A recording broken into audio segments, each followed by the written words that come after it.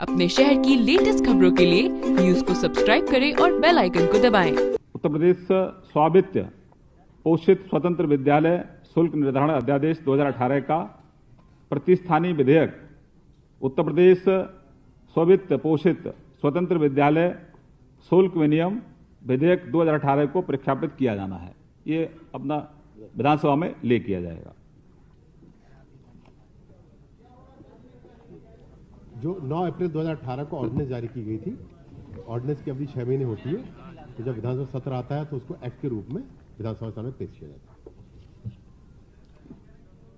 इसके पीछे मोटिव यही है, वैसे तो ले होगा, उसके बारे में सब डिटेल में आपको मिलेगा, लेकिन इनिशियली यह है कि जो मनमानी कर रहे हैं, उन पर अंकुश लगाने का एक प्रावधान है।